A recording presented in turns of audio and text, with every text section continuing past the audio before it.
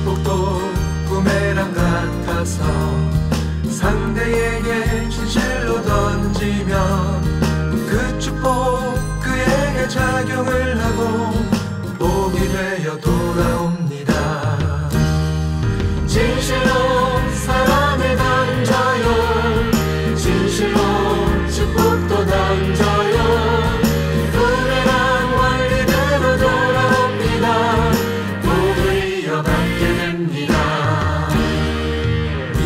모습은 부메랑 같아서 상대에게 진실로 던지면 그 미소 그에게 작용을 하고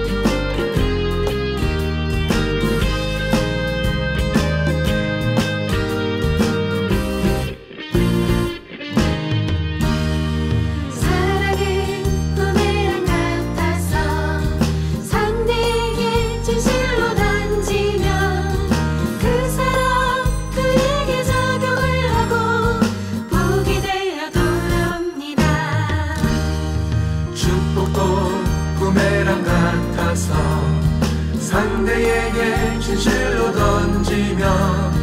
그 축복 그에게 작용을 하고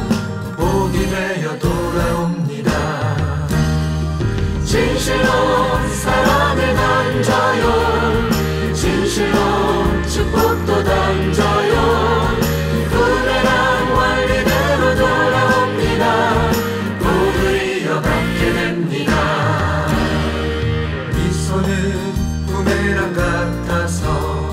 상대에게 진실로 던지면 그 미소 그에게 작용을 하고 복이 되어 돌아옵니다.